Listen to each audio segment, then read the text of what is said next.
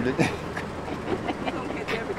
oh shit. Uhuru family, name is Baakir Tyehimba.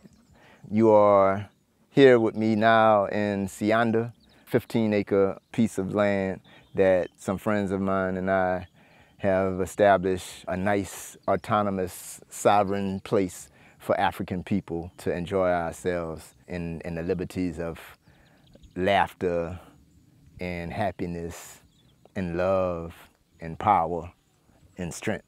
Siyanda is an isiZulu term that means we are growing. We come together to figure out how to grow together in the best way that works with regards to our African values and standards. There's the need for us to establish models and examples that we can look at on a consistent basis to see what it means for us to live the way we know to live in an, in an upright way. Like we have to be responsible for ourselves, for our well-being, and make sure that we are taking care of us the way we see fit. It's important just because we need life and liberty for ourselves.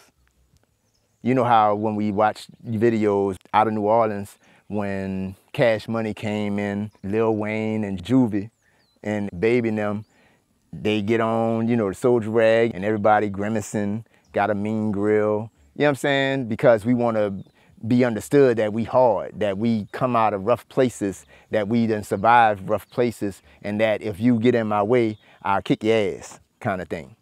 I'm saying I want us to be able to understand that when you come here, that you not that you have no worries, but you come into a place where there are people who you don't need to feel like you uh, are threatened or feel like you have some need to to guard yourself or, or attack nobody. That's that's that's it. It's like I say, powerful, happy, like a lot of joy, and uh, a lot of love. So this land is very. It, it moves. It's a lot. It's, it's um, what they call it, rolling hills. Last week I went out to Atlanta, get some work in. I was only gone for four days. I came back.